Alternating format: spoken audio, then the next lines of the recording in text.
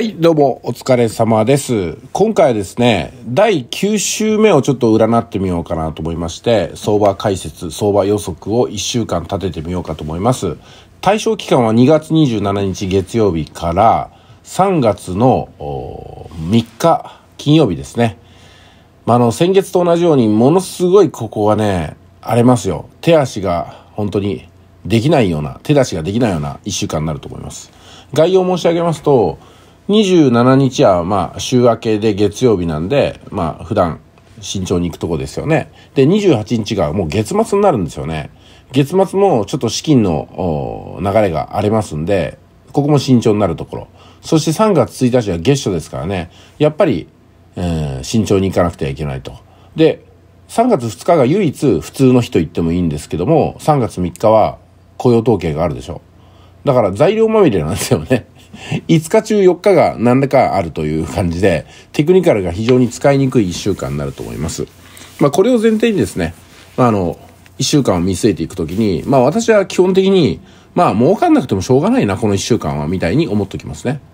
やっぱりこう、週によってはね、利益出っ放しの本当に、えー一方向に進むトレンドの週とかありますんで、そういう時にしっかりと儲ければいいわけであって、難しい時にテクニカルをね、無理に当てはめて、傷を深くしてもいけないかなと思うんですよ。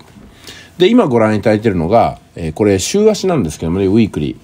週足を見ていると、ヘッドショルダーではありませんけども、形的にはヘッドショルダーが起きうるんですよね。こういう風な形で山切りカットを作って、ヘッド。で、ちょっとここをね、二つ目の左の肩という風に設定したときに、えーこちら3本線を赤で書きましょうかね。黒か。黒で書こう。3本線をまたいだこの肩。そしてこっちの方も3本線をまたいだ肩がもしね、できるようだったら、ここからガクンと落ちるようだったら、ここに当たってさらなる下落っていう風な道筋が見えるのかなと思うんですよ。ただこれヘッドショルダーではもうないですからね。まあ、こういう風な形になり得るかなっていうのを軽く週足では思っているってことです。ですのでこれから上昇というよりも再度下落、円高の方向に向かうんではないかなっていう気持ちはあまり変わってません。円高っていうのはここを転換にして円高の流れがねこっちに進みましたんで、まあ、それがね今に至っても、うん、上がってはきたんだけどもその分下がるポイントになるんではないかなというふうに思ってますね。これは本当にそうかどうか分かりません。長い目でこういうふうに思っているよってことです。修正は大いにありえます。で次なんですけども冷やしを見ていきますね。冷やしを見るとえっ、ともう何度もお話したようにこういうふうなトレンドから横ばいがあって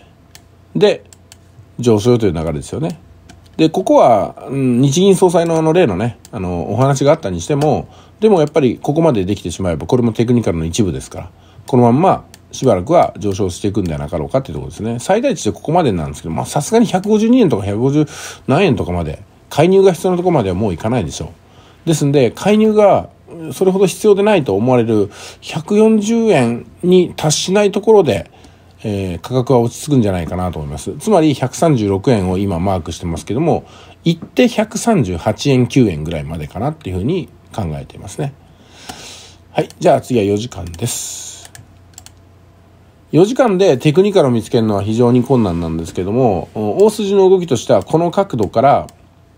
この角度に変わったんだけども、えー日銀総裁のお話でズバンと突き上げたかなってことですよね。で、これがね、週を明けて月曜日27、28日に前値戻しとか半値戻しとかが起きるかどうかってところはやっぱ見ときたいかなと思います。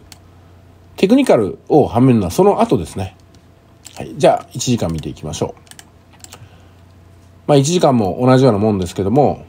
今ここでちょっとね、陰線陽線が短くなりましたんで、とりあえずは材料としては落ち着いたんでしょう。本当に陽線がバンバンバンバン出てましたよね。で、これが、あ前値戻し、もしくは半値戻しが起きるかどうかっていうのを、ちょっと月曜日を見ていこうかなと思いまして、それが終わってからね、えーいろいろとテクニカル的なお話をしていこうかと思います。ですから、週足、日足では大体の動きの方は見て取れるんですけども、